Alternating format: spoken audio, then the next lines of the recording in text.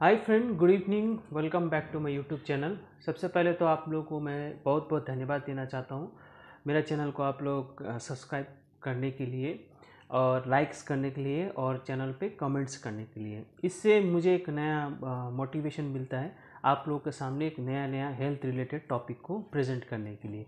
तो फ्रेंड आज हम बात करते हैं कोलेस्टियोटोमा के बारे में। कोलेस्टियोटोमा यानी कि एक कान का बीमारी होता है। और कोलेस्टेटोमा को समझने से पहले हमारा कान का थोड़ा सा कान के बारे में जानकारी लेते हैं। तो देखते आ, कान के बारे में थोड़ा सा जानते हैं हम। तो देखिए हमारा कान हम लोग इसमें आ, सबसे बाहर वाला जो होता है उसको हम लोग बोलते हैं एक्सटर्नल ऑडिटरी कैनाल यानी कि आउटर ईयर उसके बाद बीच वाला जो पार्ट होता है उसको हम लोग मिडल ईयर बोलते हैं। और उसके बाद फिर इनर ईयर शुरू होता है।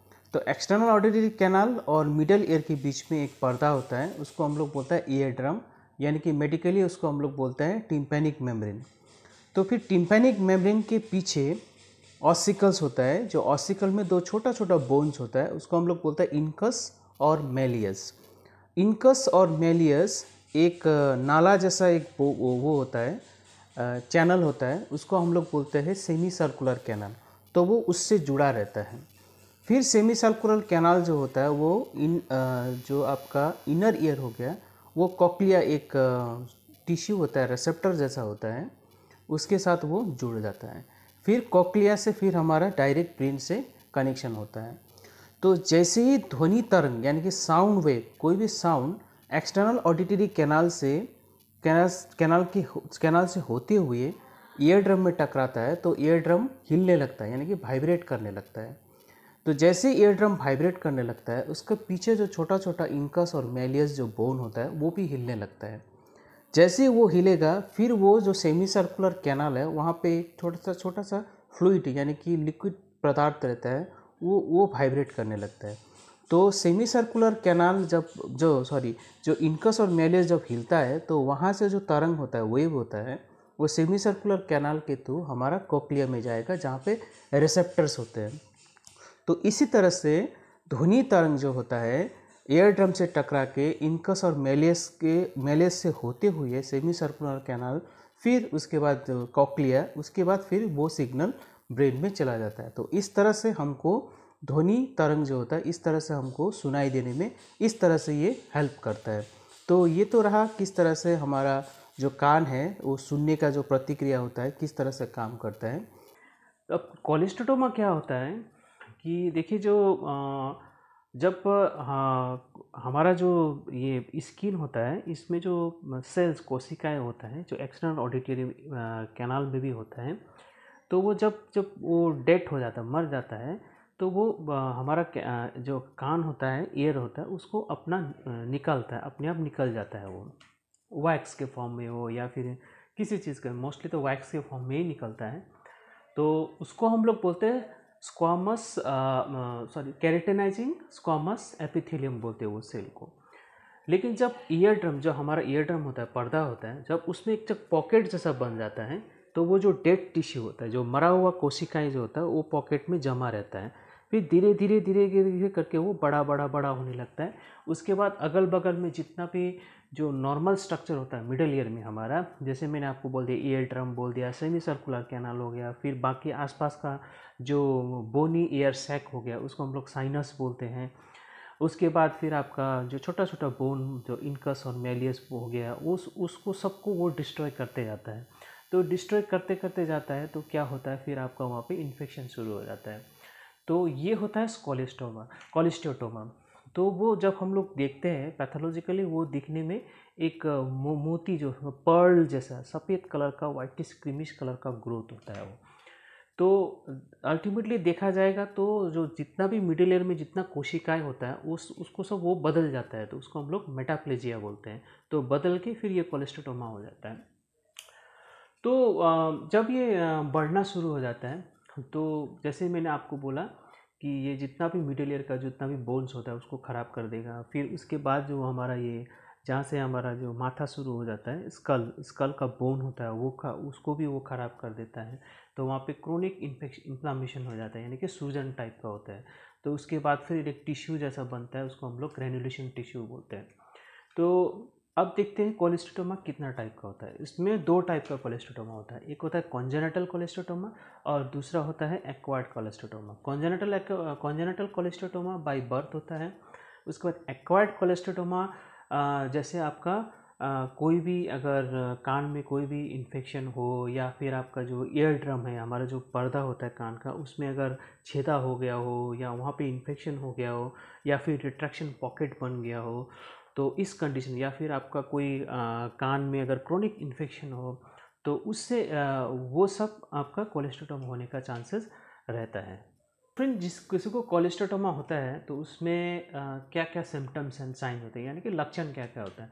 सबसे पहले तो सबसे कॉमन लक्षण होता है कि आपका आ, हम लोग इसको बोलते हैं scanty persistent foul smelling tinge with blood ear discharge यानी कि कान से पानी थोड़ा थोड़ा पानी बहता है, और वो आपका चिपचिपा जैसा होता है और कम मात्रा में लेकिन बहते रहता है और कभी कभी उसमें तो हल्का हल्का आपका खून का थप्पा भी आपको दिखाई देता है। उसके बाद आपका प्रोग्रेसिव हियरिंग लॉस यानी कि आपको, आपका धीरे धीरे धीरे जो सुन, सुनने का क्षमता होता है वो ख़त्म होते जाता है। और इसके साथ में किसी किसी को कान में जो ट्रेन का आवाज़ जैसा मतलब ऐसा आवाज़ आपको सुनाई देता है, छिस छिस करके, उसको हम लोग बोलते हैं टिनिकटस। उसके बाद किसी किसी को चक्कर भी आ सकता है। तो ये तो रहा आपका लक्षण होता है कोलेस्ट्रोटोमा जब होता है किसी को।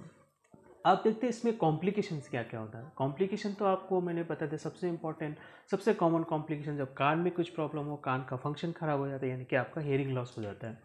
उसके बाद फिर जो हमारा जो मिडल ईयर में होता है, वहाँ पे एक नर्व जाता है, उसको हम लोग फेशियल नर्व बोलते हैं, जो कि हमारा प्रोमिनेंटली हमारा चेहरे में सप्लाई करता है। मसल्स का मूवमेंट को, तापमान टेम्परेचर पेन ये सब सिग्नल को वो कैरी करता है।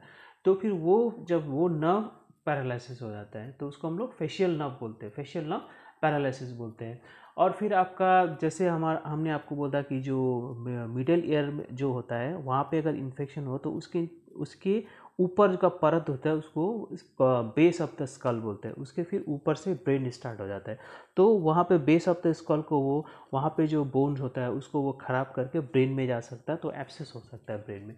तो उसको हम लोग बोलते हैं ब्रेन एप्सिस तो फ्रेंड ये तो रहा कॉम्प्लिकेशन अब देखिए इसमें ट्रीटमेंट क्या होता है। ट्रीटमेंट तो अब जैसे आप डॉक्टर के पास जाएँगे तो डॉक्टर आपको सबसे पहले तो आपको ऑटोस्कोपी ऑटोस्कोप करके देखेंगे। ऑटोस्कोप एक हमारा एक यंत्र होता है, जिससे हम लोग कान के अंदर क्या हो रहा है ईयर ड्रम वगैरह देख सकते हैं, या फिर कोई कोई एंडोस्कोपी भी करके देख सकते हैं कि आपका एग्जैक्ट पता चलेगा कि आपका कोलेस्ट्रोमा है या कोई और बीमारी है, या किस वजह से आपका ईयर में मतलब कान से पानी निकल रहा है।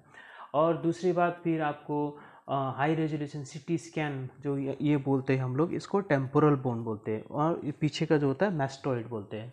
तो उसमें हम लोग उसको अच्छी तरह से हम लोग को दिखाई देगा। उसको हम लोग बोलते हैं high resolution CT scan of temporal and mastoid bone फिर आपको प्योटोन ऑडिमेट्री करने के लिए बोला जाता है। उससे हम लोग को ये पता चलता है कि आपका कितना हेयरिंग लॉस हुआ है। उसमें हेयरिंग लॉस भी डिफरेंट टाइप का होता है। एक होता है कंडक्टिव हेयरिंग लॉस दूसरा होता है सेंसरी न्यूरल हेयरिंग लॉस उसके बाद वो दोनों अगर है तो उसको हम लोग मिक्स हेयरिंग लॉस बोलते हैं। तो वो आपको डिग्री ऑफ़ आपका कितना हेयरिंग लॉस हुआ है, उससे ऑडियोमेट्री से पता चलता है। तो ये ये टेस्ट आपका कराएगा और कुछ कुछ ब्लड टेस्ट आपको कराने के लिए बोल सकते हैं।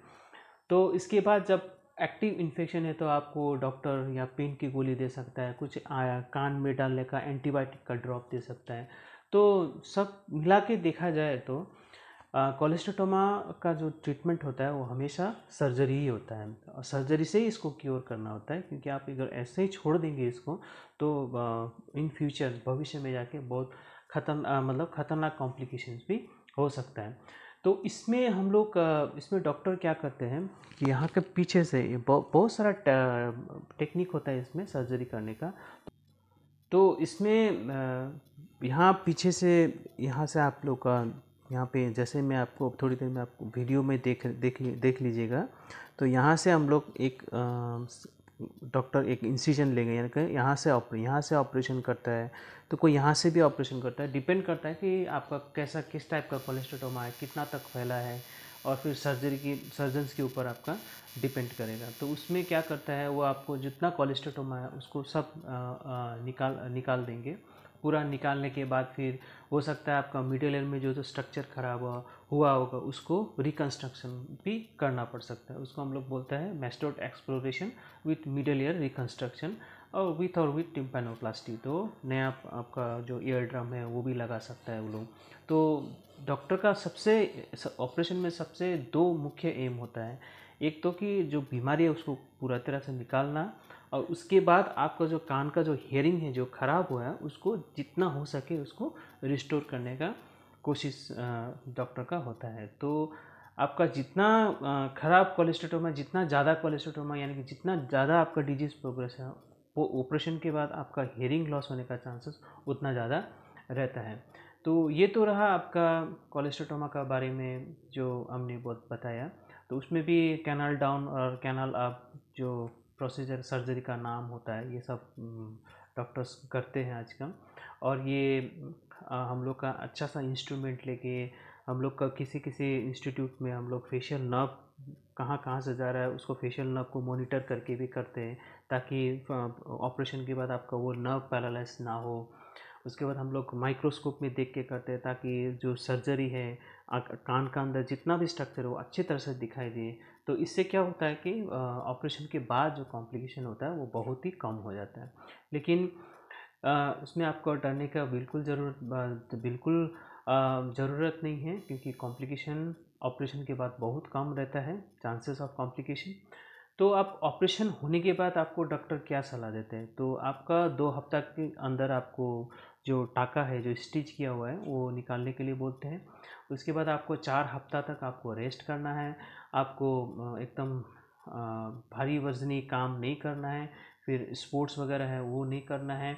उसके बाद आप हो सके तो चार हफ़्ता तक आप प्लेन में फ्लाई मत कीजिएगा। तो आपको कान जो होता है हमेशा सूखा रखना है यानी कि आपका कान को हमेशा ड्राई रखना है दो महीने तक। तो फ्रेंड्स ये तो रहा आपका कोलेस्ट्रोटोमा के बारे में। आ, मैं आशा करता हूँ आपको ये वीडियो अच्छा लगा होगा। वीडियो को शेयर कीजिए लाइक कीजिए और सब्सक्राइब करते रहिए। फिर हम एक नया वीडियो लेके आपके सामने हाजिर होंगे। तब तक के लिए थैंक यू